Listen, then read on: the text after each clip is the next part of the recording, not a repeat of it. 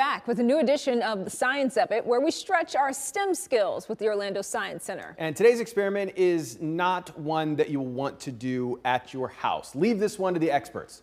Take a look.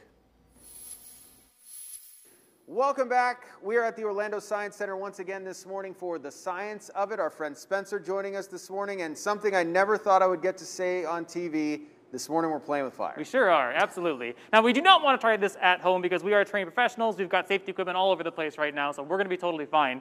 Uh, but you do not want to try this at home. Uh, it I looks am, cool though. I am going to be playing with fire though, Correct. quite literally, Correct. yeah. So now we, you've probably heard of how fire works. We've talked about it last month actually, mm -hmm. but it requires those three ingredients, right? You need uh, a fuel source, an ignition source, and oxygen. We're going to combine all three of those here today and make some cool fire experiments. Sounds great. But we need safety, of course. Let's go ahead and put these goggles on.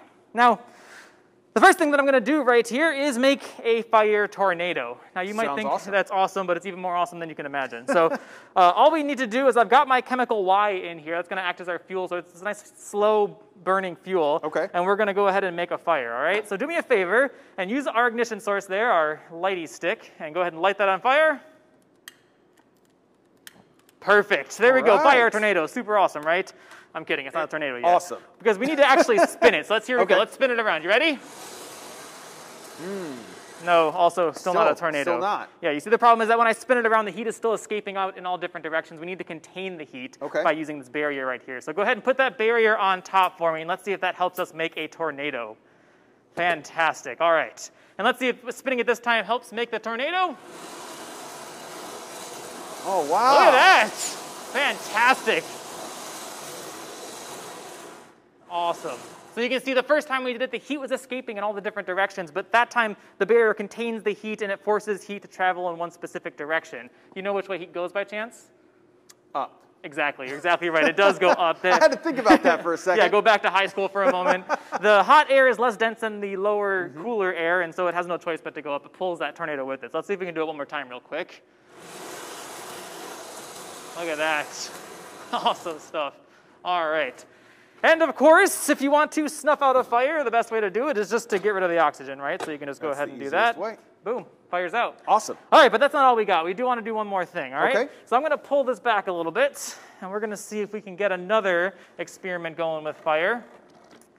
Now, lately, we've been washing our hands quite a bit, which is very important. So often. Uh, but I, we, we figured there's a different way that we can actually take care of any germs on our hands uh, by using fire. Okay. So we're going to see if we can do that here today. Now, I'm going to keep myself nice and safe over here with some soap. So I'm going to go ahead and protect myself by using some soapy water here on my hands. I'm going to cover up all of my forearms as well. The soap is going to act as a layer. It's going to keep me nice and protected as I uh, you know, use fire to go ahead and get rid of any germs on my hands here. Perfect. Once more, re we reiterate, do not try this at home. do not, no. I have been trained to do this. We have a bunch of extra safety gear nearby. Do not try this at home. All right. So this right here is chemical X. It is going to act as my fuel source in this example. Chemical Y before that we used, that was a slow burning fuel. This fuel is much faster burning, which is nice because it's going to help me uh, do some cool stuff. So you can do me a favor, grab onto that lighter right there for me. Perfect. I'm going to grab a scoop of this, stand right over there for me, and then just go ahead and light me on fire right there. Just go ahead and light that up. Woo! Wow. I know, pretty cool, right? Wow. you, want to, you want to see it again? Sure. Absolutely. so in this example here, that chemical X that you have right there, it burns up so quickly. And mm-hmm. it actually keeps me safe because of how fast it burns. And then the soap that I have all over my hands here is, acts as like a barrier that keeps me safe as well. All right, so let's go ahead and do this one more time. We call this chemical X bubbles because we get a bunch of soapy bubbles there. And instead of the normal air or high helium or something that you might fill bubbles with, we've got that chemical X there. So here we go. Okay. And there we go. Woo! wow. That's... Woo! wow. That's pretty cool, right? awesome. So like we said, do not try this at home, but here at the Orlando Science Center, we like to you know, mix it up, play with fire when, when appropriate, and do all kinds of awesome experiments. So we want to make sure that people are coming back to the building. We are, we are super safe now. We've got a mm-hmm. lot of really awesome new safety measures, and we're doing stuff like this all the time. So come check it out. We're, we're super excited to be open again. Absolutely. Glad to be able to help you play with fire in a safe and controlled way here this morning, Spencer. Absolutely. Spencer, we appreciate it. And that's it for the science of it here this morning. Thank you so much.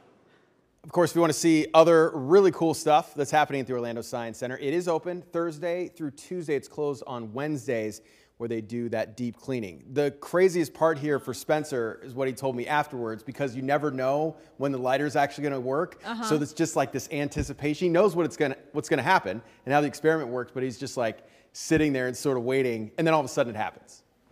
A lot of fun. You actually did it. I, you know, I don't know. You're a good You one, wouldn't be able to Adrian. do I don't know. Like, I don't want to do this to you. Yeah. It was I, cool. I trusted that he knew what he Yes, was doing. yes. Yeah, good stuff.